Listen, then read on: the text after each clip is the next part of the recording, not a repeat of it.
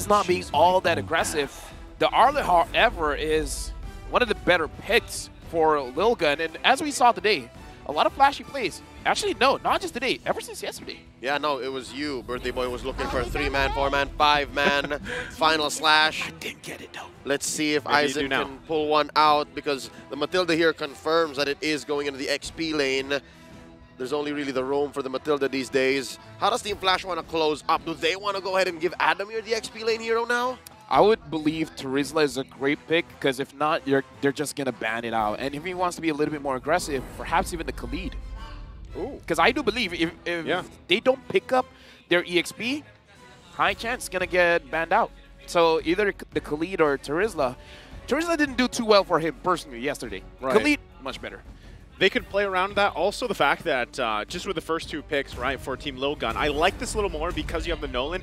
And going back to the point what we saw from the previous series, he had a very hard time finding those initiations in. But with a Matilda and Arlott there to help you with, uh, you know, finding your own angles or even getting out in, you know, sticky situations, that's there available with you, like we saw even from the Matilda play yesterday. So the answer here to round out the first phase is going to be the Lilia parking that into the mid lane here. How you feeling so far, Lefel, about Team Flash's lineup? I would say a lot of control here. Um, they're making sure that they have the priority whenever they want to engage on Churl or the Lord because Lilia, Guinevere, as well as Bruno have quite a lot of uh, AoE, either damage or setup. So it makes it a little bit easier for you to contest those turtles, uh, especially going up against Nolan. Now, I'm looking at the hero pool in terms of the mid.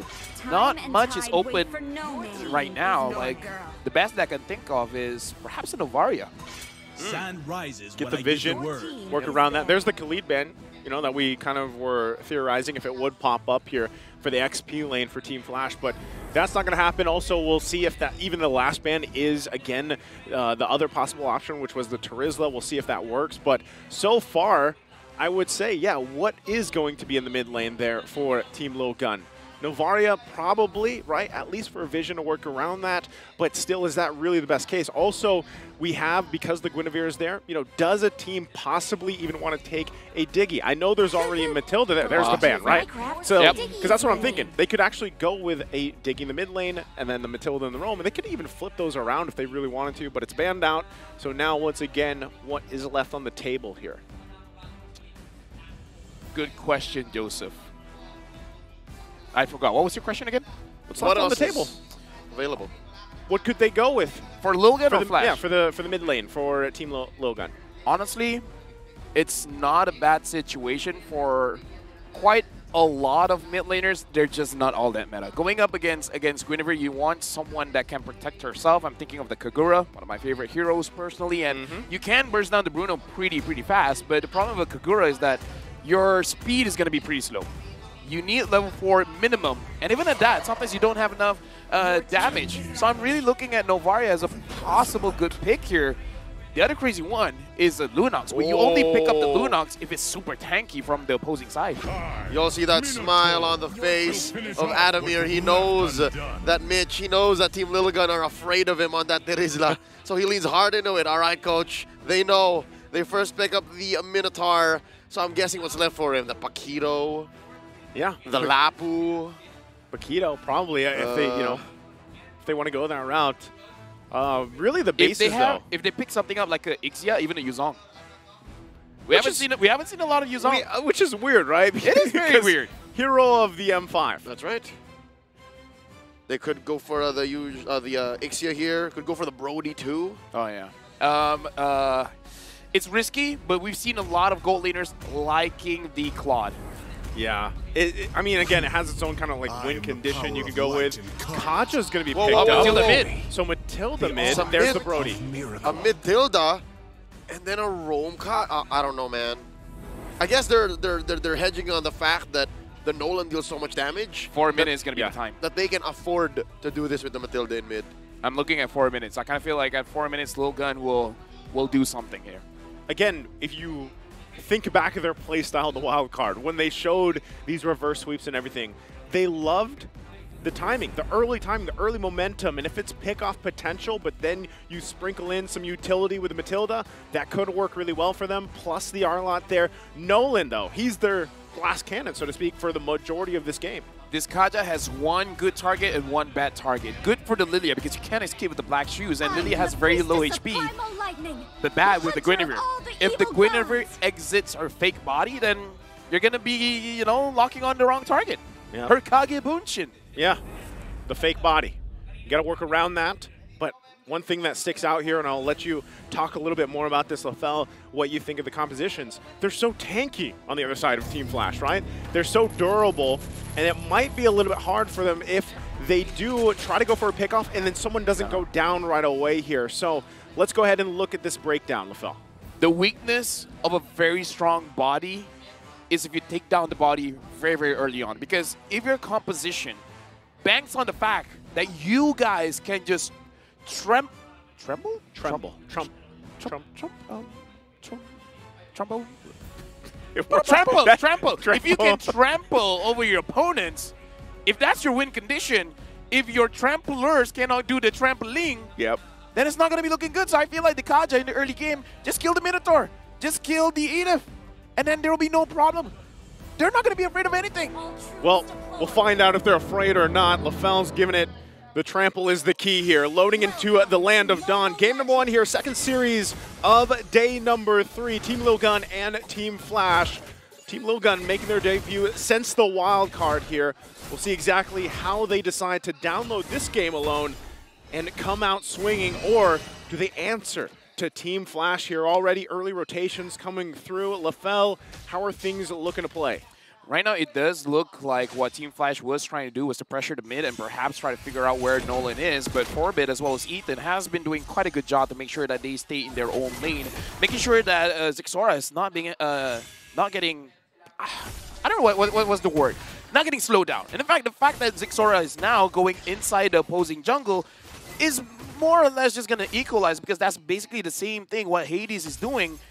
I'm really looking at Team Lilgun. If they're not slowed down by the fifth or fourth minute mark, might be their game. Yeah, and even looking at the emblems here, anything that sticks out for you to give that early advantage that they might be looking for. The rupture on the Arlott shows that early rotations coming in from the Arlott might give off more damage than you expect.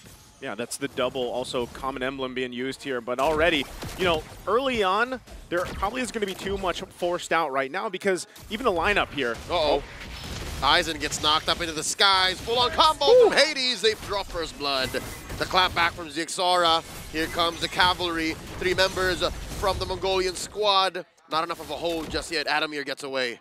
Okay, so take that back. I didn't think there was going to be a kill before the first turtle, but Team Flash able to find it, get get it in the hands of Hades as well, right? So in terms of the jungle matchup, that's a little bit of an advantage he can work with. And now leading into this first turtle, if Team Flash is able to secure the first objective, you know, Team Lilgun, they'll be working back from a deficit early on already.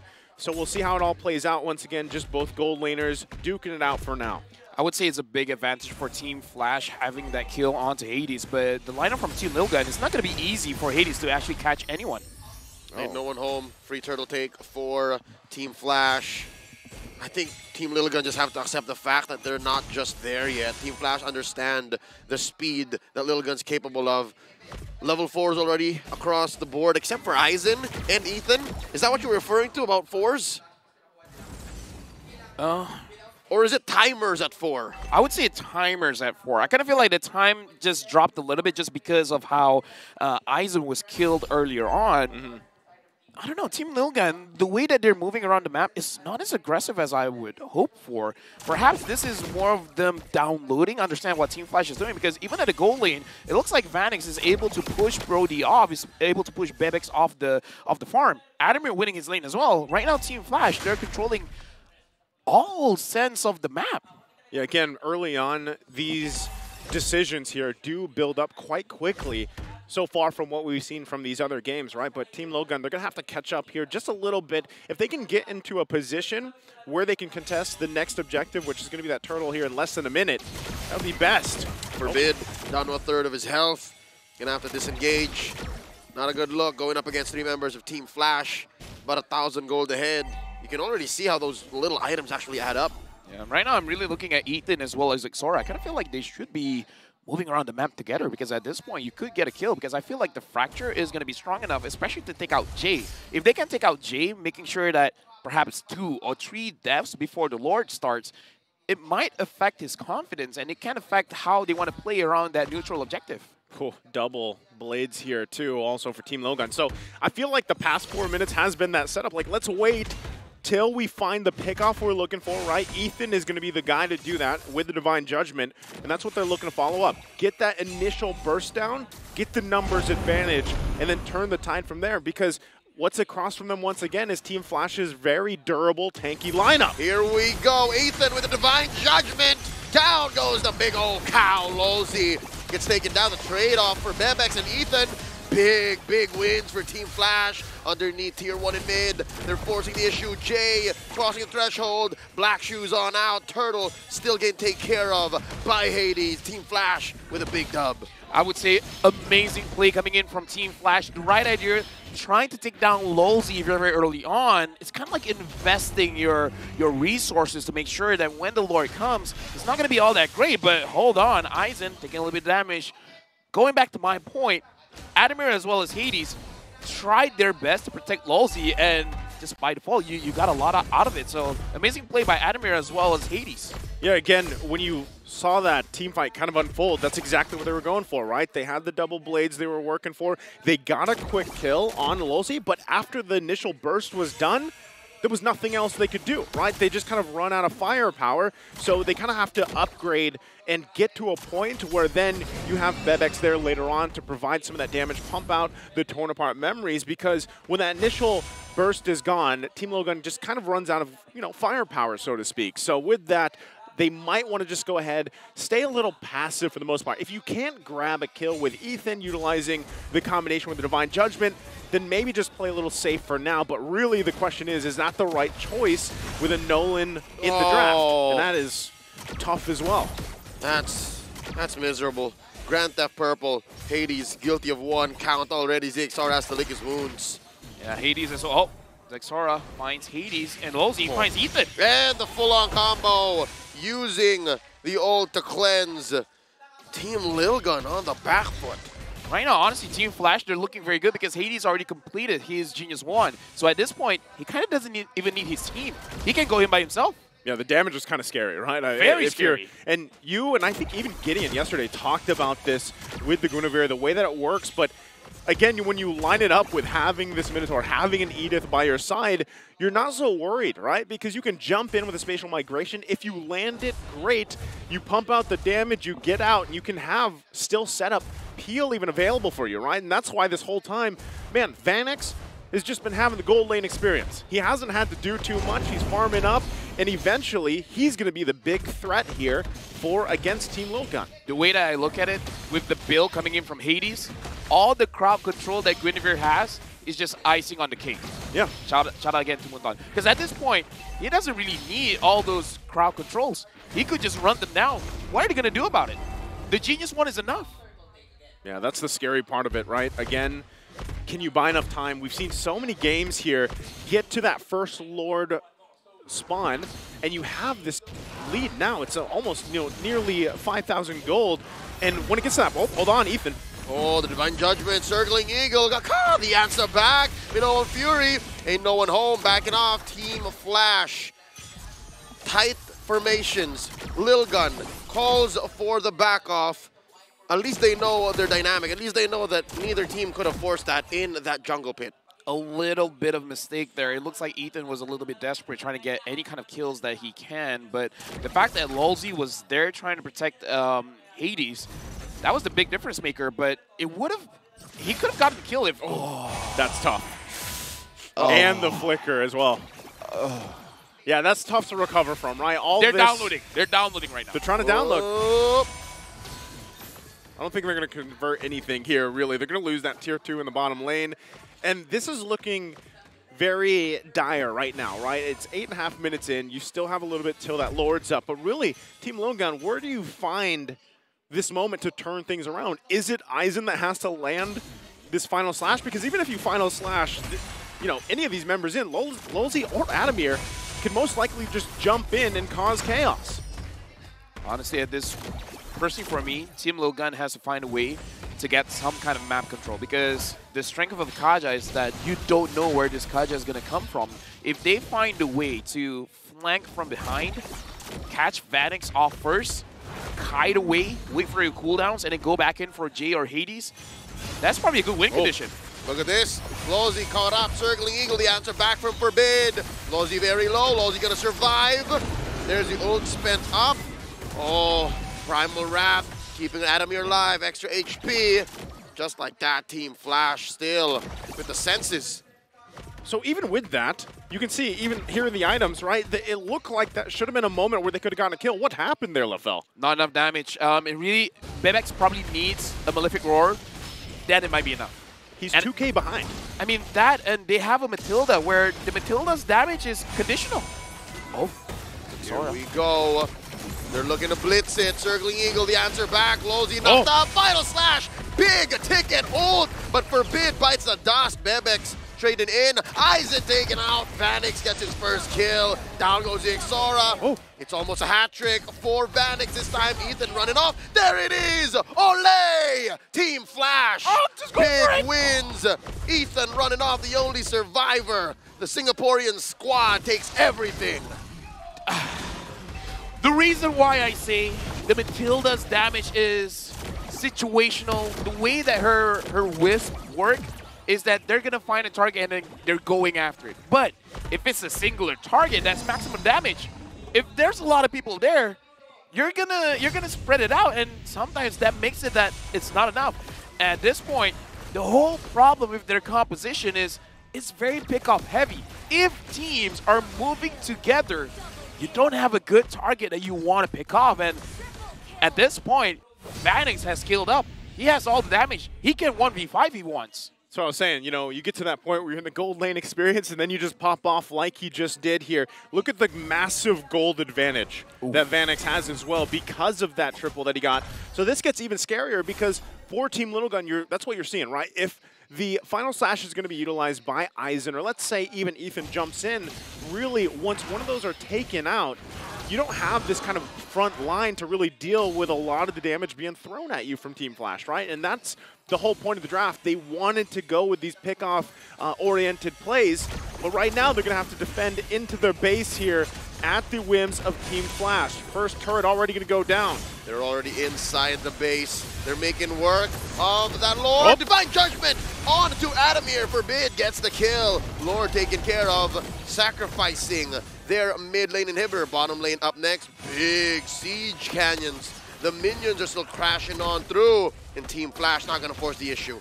I would say that's still a pretty good trade. I mean, they lost Adamir, but they got two inhibitors at this point. Team Little Gun, it looks like the way they can get a kill is if they actually pull Team Flash into their base. But again, there's a cooldown on that Divine Judgment. You can get, you can only get one. After you get that one, what are you gonna do next?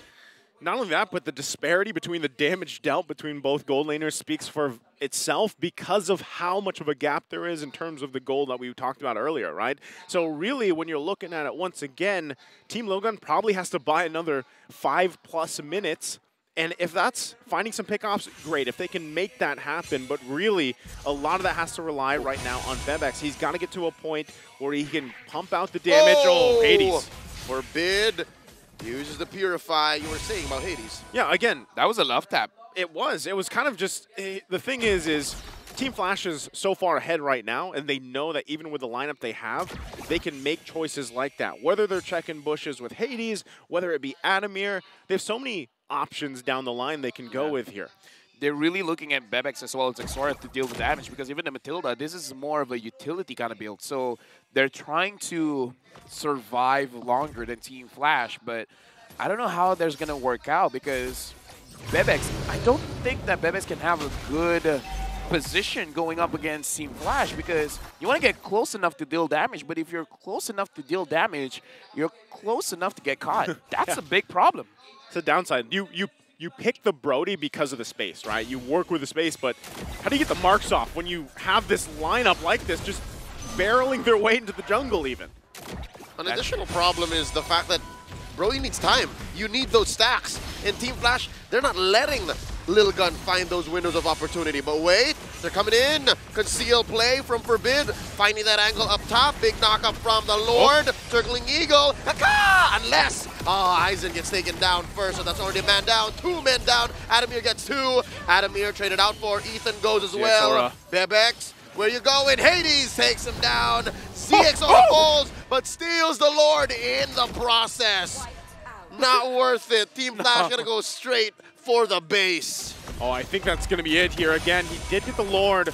There's still about 14 seconds, 10 seconds for Aizen, and Team Flash will run it in. That's it. Game one, 15 minutes under Team Flash 1-0. Again, I just have to remind you, that was an amazing game, Team Flash. Ended it in a flash, but this is the way Lil Gun plays. Is this what they wanted? Do they want to download first and apply later? This is the world stage. This is not wildcard. Can they do it? And that's why I'm wondering, because we, we have experienced this in the wildcard, right? This looks like, again, regardless of if they are downloading or not, Team Flash, man, they, they dominated this game. They, they executed the lineup that they had very well. They worked around it, and they knew, hey, there's going to be pick-off uh, a pickoff potential and threat from Team Lilgun with what they have, but it wasn't the way that it should have been with that lineup for Team Lilgun. Team Flash came out swinging. They played it perfectly. They rounded their bases with the draft that they had. They're quite tanky to deal with, and we just got to a point once again where you had that gold lane experience. You had the fact that Hades could jump in, pump up the damage if he wanted to, but still rely on peels and everything else. So really, this was just a well-executed game for Team Flash. I'm of two minds here. The fact that Team Lil Gun is notorious for allowing game one losses, and the fact that this is a different stage. I don't think you should be playing this way, especially since Team Flash are not holding out any aces, specifically this ace right here. Here we go, MVP of the game. You got the heart sign there as well. What a performance here for Vanix. The gold lane experience, as we talked about, Bruno here 3-0 and 5. I mean, looking at the way that he plays, we saw he had the idea, I want that Maniac. And I kind of believe he deserved it because in this game, he made sure that Bebex does not get to play that, that goal lead. Yeah. There were so many minions denied. Not only that, but uh, just the way that this was executed as a team effort, right? Vanix, he was kind of just under the radar for a majority of that early to mid game. And as we take a look here, of course, at the highlights, it started off early on with that first blood going through. And there was some fight here, right, from Team Little Gun, really trying to pull things out to go in their favor. But once again, like I said, the initial burst damage that they had early on, if it fell off eventually throughout an extended team fight, when you have these tanky heroes across from you, you don't you just kind of run out of firepower. What makes Vanix worthy of the MVP nod here is the fact that if you're playing a game this one-sided, wherein you're having, as y'all fellas call the gold lane experience, it's so easy to throw a lead away like that. It's so easy to overextend. It's so easy to just click your ult and then say, hey, where's everybody else? Why aren't y'all protecting me? He stayed on 100%. He was woke. I gotta give props to Team Flasher because they understand the timings. If Lil Gun wants to play around minute four, they started the, the, the match at 1.30, Straight to the EXP lane, make sure that Aizen does, doesn't get to play, yep. And then just go from there. They, they understand that if you start at 4, we're going to start way early, earlier when you're not expecting it. And not only that, but even just looking at the breakdown here, once again, it was, you know, Team Flash just coming out swinging. And they really punished when there was an overextension from Team Lilgun, or even if they didn't give them time, right? Sometimes it was, okay, we're going to probably get Divine Judgment. They might be able to get our way. There's going to be a final slash thrown at us. But really, they had the answers they needed. And when it got to the itemization part, right, it just, with the lead that you have, especially in the gold lane, for example, or any of these across from them, you just have that advantage that's hard to deal with. And now I'm wondering even, Nolan has struggled so far. You know, we, we've seen it now time and time. He struggled, but he actually had quite the farm. This is very respectable from a losing lineup that's able to out-farm the opponent, right? I mean, call it what you will, a utility tank build Guinevere, but ZXaura had the items, ZXaura had the farm, it's just he couldn't find the opportunity. Yes, at that very last moment, he stole the Lord, but that's the very last thing you want to do as a Nolan. You want to kill. Yeah. I would say it was way too late because if he was able to dish out damage, especially to Lolzy earlier on, making the Minotaur a non-factor, it will make it much easier for the Kaja to catch anyone off guard because having that Minotaur was one of the big reasons why Lilgun couldn't really catch anyone. Um, Minotaur, the um, the Edith, even Hades as well.